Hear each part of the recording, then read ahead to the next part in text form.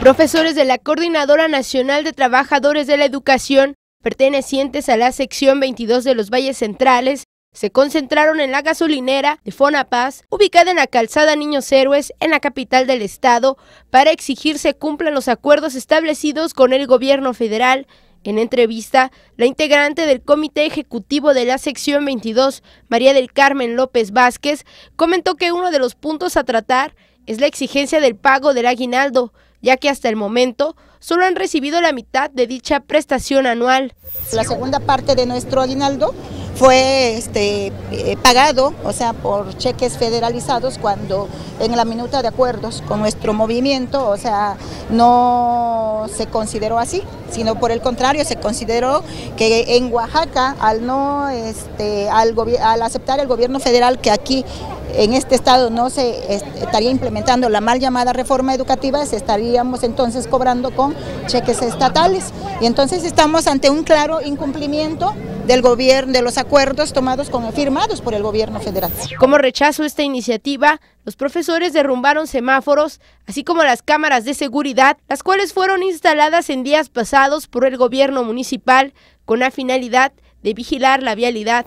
Pero todos sabemos que tiene como mensaje el control, el reunir evidencias para criminalizar la manifestación pública, la lucha social y que sobre todo también tiene como finalidad también el de seguir sangrando la economía de las familias oaxaqueñas a través de la implementación de cuantiosas multas. En punto de las 5 de la tarde, los profesores arribaron al lugar con una grúa, transporte con el que pretendían quitar el equipo de seguridad Después de una hora y media de fallidos intentos, los maestros consiguieron su objetivo.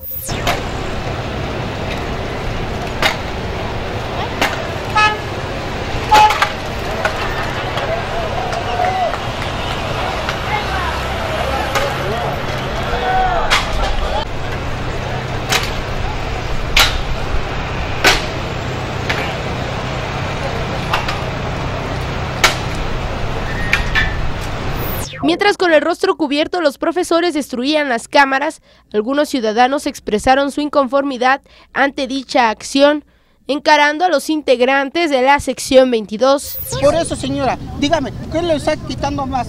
¿A que el gobierno el día de mañana va a reponer eso? No, y que no los va a quitar. No lo va a reponer, es como los parquímetros, son de empresas. empresa privada, Por eso, de, todos, de todos modos se lo van a quitar. De todos modos, a ver, dígame. Es muy mire. su opinión, pero retírese, no venga aquí a provocar. No, no, no estoy provocando, estoy peleando un derecho. ¿Cuál derecho? ¿Por qué no pelea el derecho a la educación de su hijo? ¿Por qué? ¿Por qué? Porque no estamos de acuerdo con que nuevamente se nos siga saqueando en nuestra economía, por una empresa privada y ¿Se por les está saqueando en la claro, economía? porque con esto son pretextos. Si les están dando mil, mil novecientos millones de pesos al año a los maestros. ¿Y de dónde están? ¿Los queremos ver?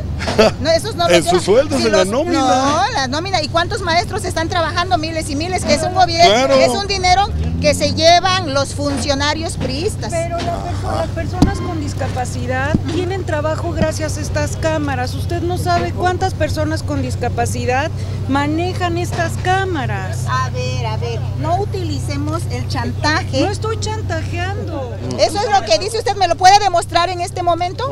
Sí.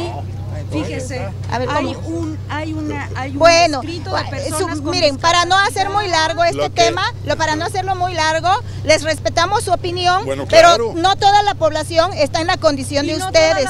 Nuevamente, este, una, a través de una empresa privada nos quiten más impuestos. ¿Y no te preocupa que la ciudadanía esté sufriendo también las consecuencias? ¿Y por qué está sufriendo la ciudadanía? Si las Porque yo vengo, mira, yo vengo del seguro. Pues, ¿Vienes como reportera o vienes indignada o qué quieres? Soy, soy ciudadana y soy reportera. No, las dos cosas, defínete. No, no tengo por qué. No, bueno, es que no me hazme, si eres, si eres reportera, hazme las preguntas y pues yo te respondo. Eh, ¿Estás de acuerdo en, en, perjudicar a la ciudadanía? No estamos perjudicando a la ciudadanía. Con imágenes de Juan Carlos Reportó para MBM Televisión, Vicky Ramírez.